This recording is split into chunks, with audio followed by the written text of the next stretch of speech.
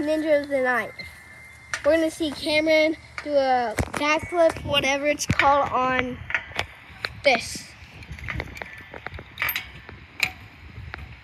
I said backflip, not a hang. Okay, do it. Good. Show us like how you hang.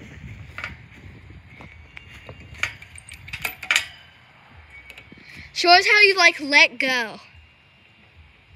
Guys, guys, I can't do this because I have a broken arm right now. You, you, you're gonna see me with no broken arm in like three weeks. But I won't be doing any like sprint videos or biking videos yet. Because I can't go to the skate park for about three more weeks.